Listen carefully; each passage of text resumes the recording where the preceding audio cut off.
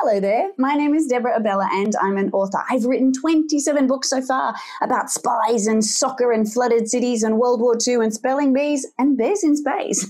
we are going to have such a fun time at the WOW Festival. I cannot wait to see you there.